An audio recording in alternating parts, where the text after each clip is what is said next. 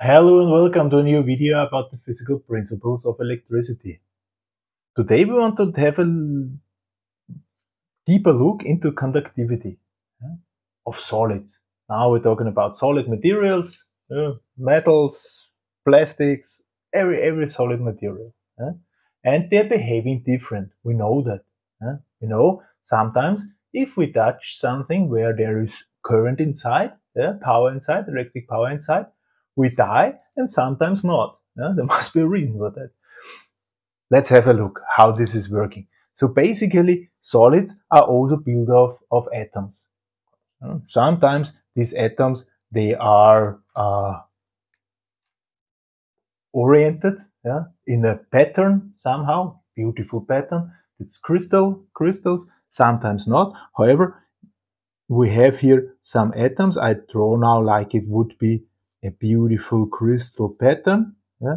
Metals are of this type, for instance, even if we don't see it from in our microscopic world. If we would zoom in, you could see a little corns, and these corns are crystals, actually. And inside a crystal, every atom has its position and so on, everything is ordered. There are also materials which is not, that ordered. Yeah, for instance, something where it's just somehow mixture, yeah, amorph materials. Uh, however, what is always that the, the, those uh, atoms are at fixed places because then it would not be solid. If the, if the atoms could change, it would not be solid, right?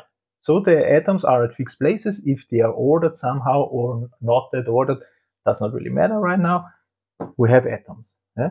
And around these atoms, we have, of course, these are the, the, the, the nucleus of the, of the atoms. And around of them, we have the electrons.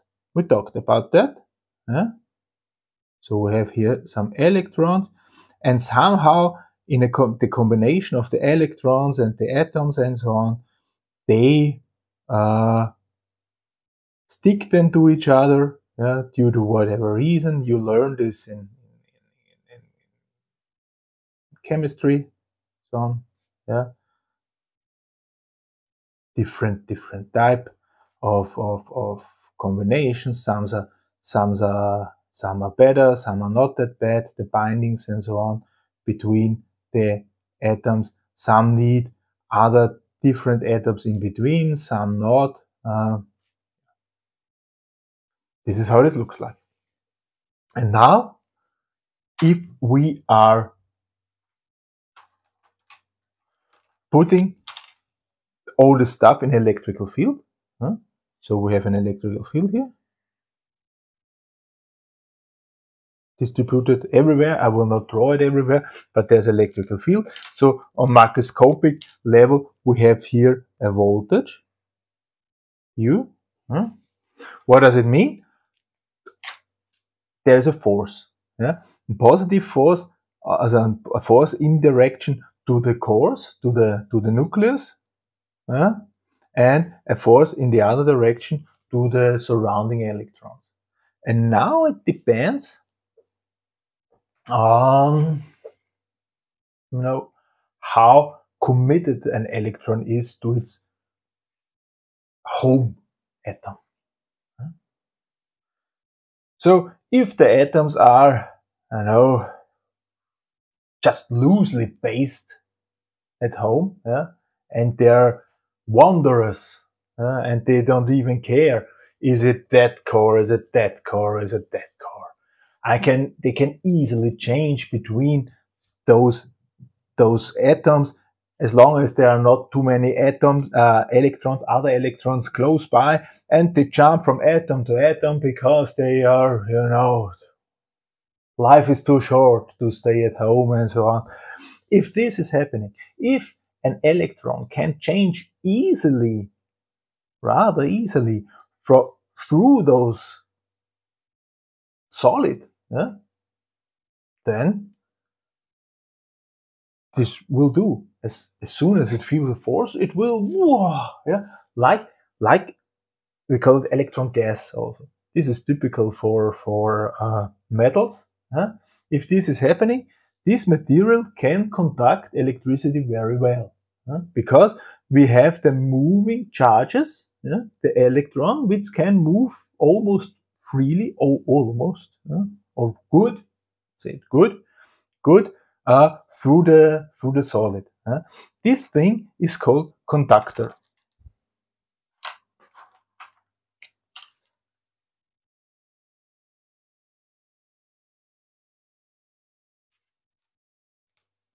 Here, electrons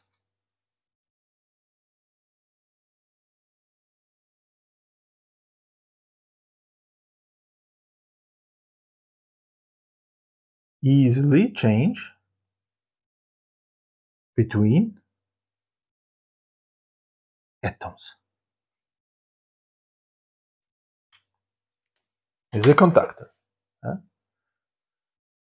On the other hand, there are materials where the, the electrons are really committed, really, really committed to the home atom. You can apply force almost what you want, they will not move. So there is no movement at all. There are no move charges. These materials cannot transport electricity. There is no current possible. If the force is somehow big enough, then you rip out everything. Yeah? So if you apply a lot of voltage, then you will get current. This is typical, uh, you know, this is why isolations uh, are usually have a, a, certain thickness and so on, and you can only apply uh, a certain amount of, of voltage there that the electrical field is not too big so that you prevent getting the isolator. This is how those materials are, are called, the isolator from getting conductive. Should be avoided, of course, yeah. But per se, those materials do not conduct. They are called isolators.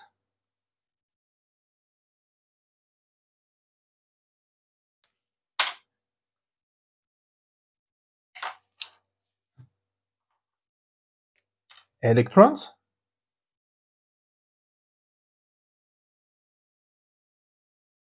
can not change between atoms.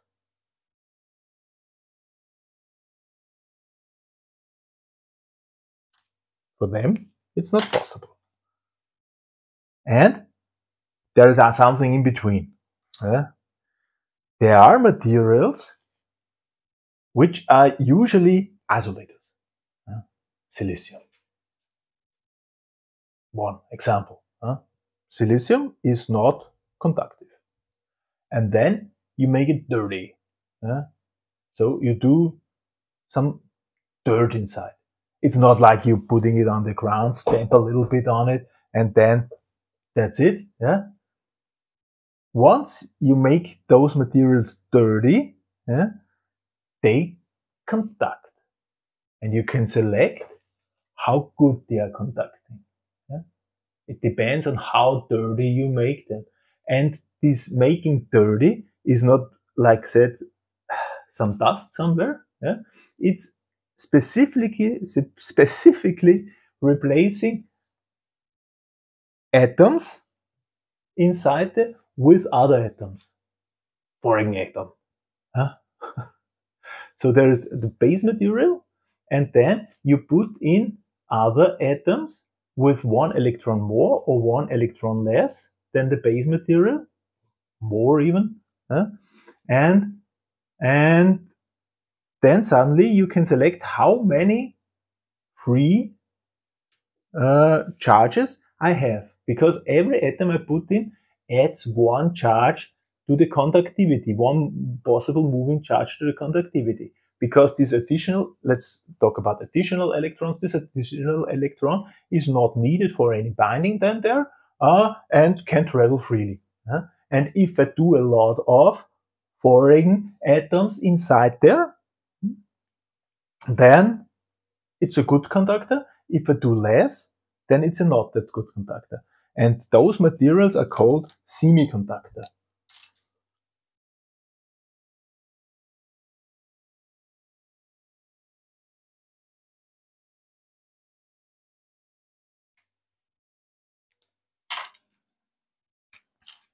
Here, a number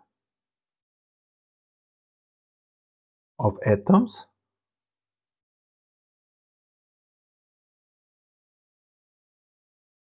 is changed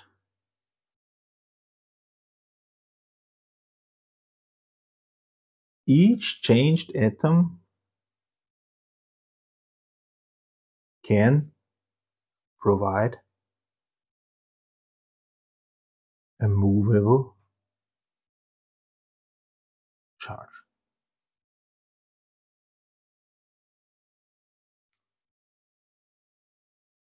Conductivity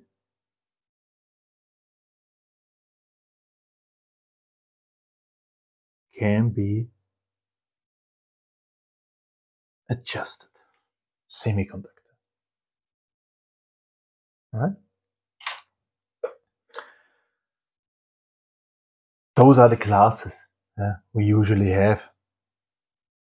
And now let's zoom out a little bit. Yeah? Let's say we have somewhere piece of wire.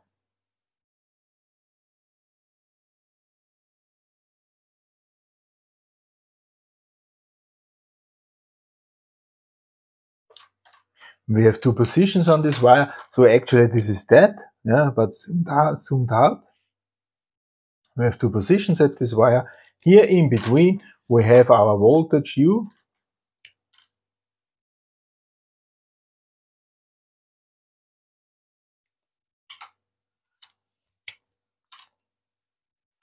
And if this is a conductive material, uh, conductor, then we will cause because of this voltage, we have an electrical field and we will cause a current I.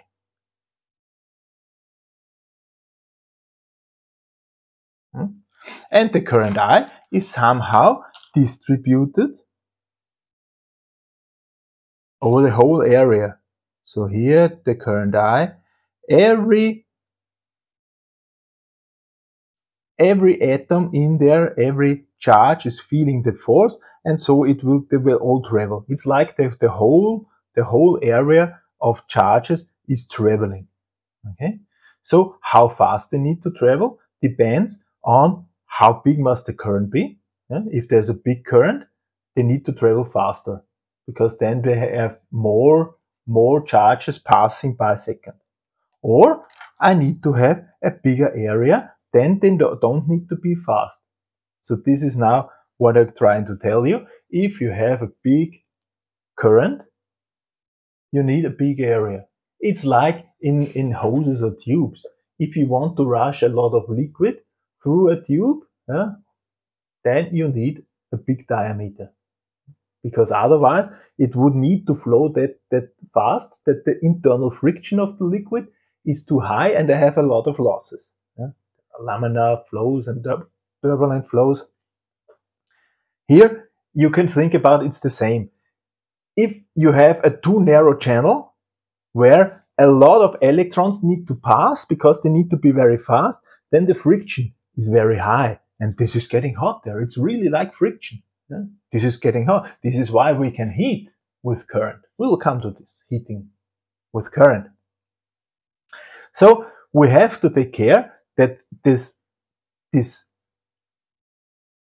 sheet or this, this slice of, of moving electrons to, is not too, too fast. Yeah? What is a measurement? This is called the, the current density. This is actually the current flowing divided by the cross section A. Yeah? Unit ampere per per square square meter actually yeah usual ampere per square millimeter. We have to take care this current density is not that high that we have reasonable reasonable heating of this material yeah. And we have around uh, in copper yeah 10 to 15 ampere per square millimeter, then we really should get more, more square millimeters to distribute our current.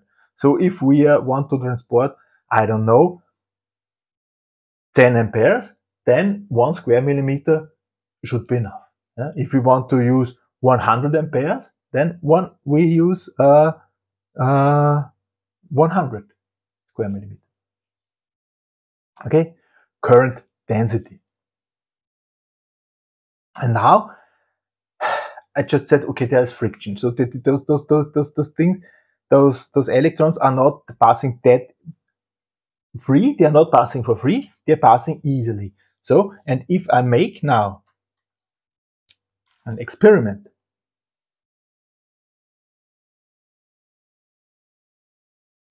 and I take a look, here I have the voltage U. Here I have the resulting current flow I. And now I make an experiment, experiment and always note uh, which, at which voltage I have which current. So they might, okay, at zero voltage I have zero current. That's clear hopefully. Yeah? At this voltage I have this current. At this voltage I have this current. At this voltage I have this current. At this voltage I have this current. Yeah? And then I will get a relation between current and needed voltage. So the voltage drives the current through this conductive material. In common, this looks like that. Not linear, somehow. These are usual behaviors of semiconductors. In special cases, it appears that if we have double voltage, so we have here one voltage, if we have the double voltage, then we have here one conductivity, one current, and here double.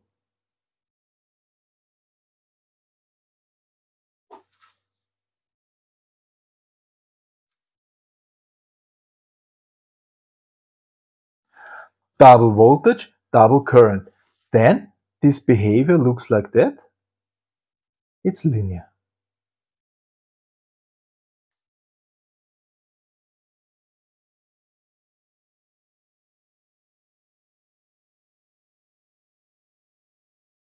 Special case.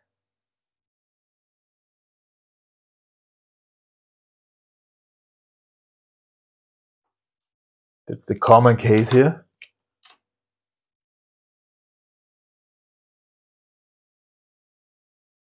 In special case, if this is linear, we have a factor.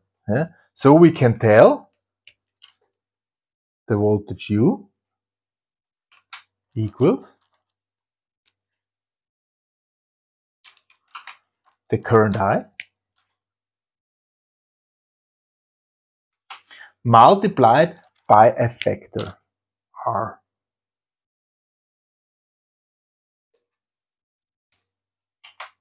This factor yeah, is called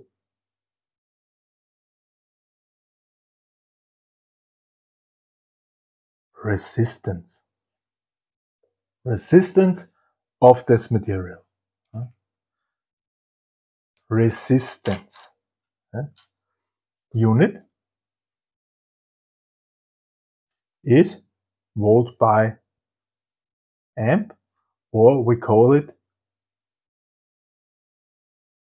1 ohm. 1 ohm. Nothing to do with an Indian uh, relaxing technology. There was a guy called Ohm, uh, and he was, it is, this is named after him. This is also called Ohm's law.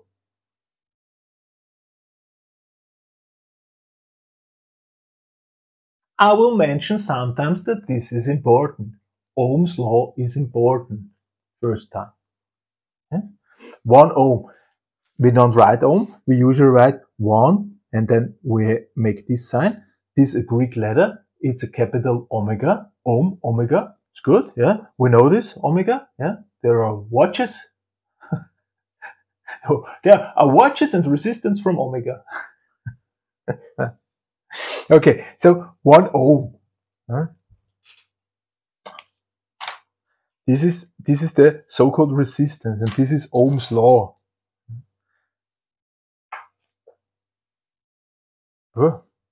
I think now I've talked a lot of conductivity of solid.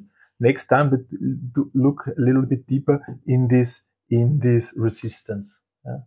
Take a little deeper look in the resistance.